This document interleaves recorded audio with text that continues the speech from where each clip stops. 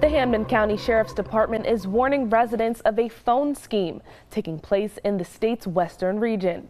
Many residents have reported getting phone calls from scammers claiming to work for the Sheriff's Department.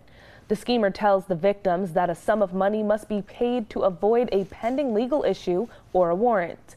This scheme cost a Springfield resident $1,000. Sheriff Nick Cocchi in a statement said law enforcement will never make a phone call to try and settle a legal matter. And if you get one of those calls, you should just hang up.